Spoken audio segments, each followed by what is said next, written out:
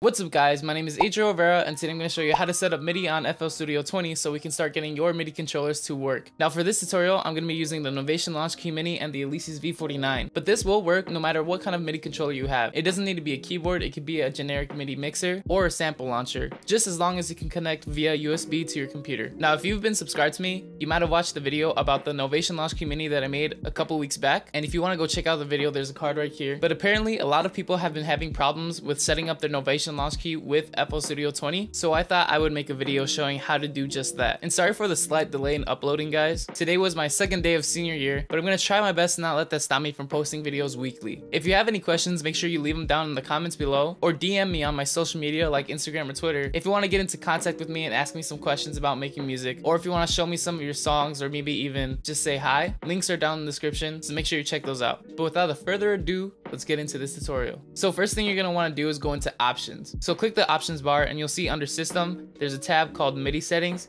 All you're gonna wanna do is click that. Now what's gonna happen is you're gonna be brought up with this tab. And if you click controller type, you'll see all the different MIDI controllers you can use with FL Studio. And if your controller isn't on this list, don't worry, FL Studio will still work with it. These controllers just have special features that FL Studio will recognize and will allow for better use. But first things first, what I'm gonna do is I'm gonna plug in my Novation Launchkey Mini into my computer. And when I do, you're gonna notice that it's gonna pop up in the input and output box in the MIDI settings tab. Boop. So now you'll notice that it says launchkey mini, but if I try to click the keyboard, nothing happens. So now what you're gonna wanna do is you're gonna wanna go down to the enable circle and all you're gonna do is click it to turn it on. And make sure under controller type, you select the Novation Launchkey keyboard if it's not there. Now you'll notice that two things are labeled in the input section. If you read over here, you'll notice that this MIDI in2 is meant for the launchkey mini, but only when it's in performance mode. So if you're ever gonna use this in performance mode, you're gonna wanna make sure that this is enabled. And do the same thing, make sure controller type, launchkey performance is selected. And now if we go over to FL keys and we click this, you'll be able to hear it.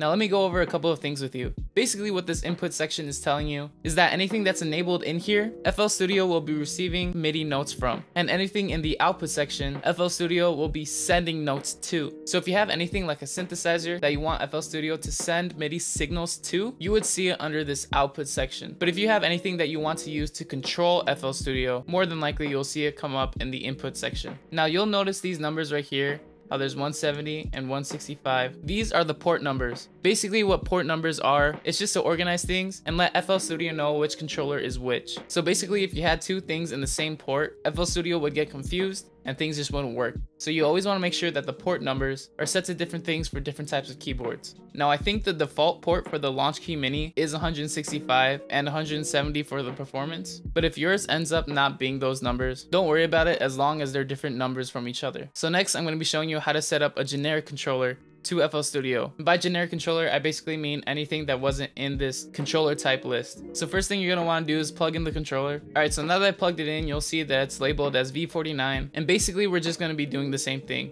Whatever pops up after you plugged in your controller, make sure you click enable and make sure that the ports are a different number than everything else. So you'll notice that there's no number on this port. I'm just gonna set it to one. And you're gonna wanna make sure that when you go to controller type, you select generic controller, so FL Studio knows that's what it is. And if for some reason when you plug in your controller and nothing shows up, click refresh device list and it should be there. But anyway, now if I play the Alesis, you'll notice that FL Studio receives those notes. So if you want to check out any of the controllers I use in this video, I always have links down in the description for all of my equipment, and that's in like every single one of my videos. But anyway guys, that's how to set up MIDI in FL Studio 20. If this video helped you at all, make sure you leave a like. If you want to see more music production content, make sure you subscribe. I always try to upload weekly, so I stay pretty consistent with these videos. Make sure to leave a comment on which MIDI controller you have, and if you have any questions, make sure to comment them as well or DM me on my social media. And make sure to check out some of my music on Spotify or iTunes or Apple Music, anywhere you really listen to your music on. And I have links in the description for all of that. But thank you guys for watching, I really appreciate it, and remember, don't be afraid to show your genius.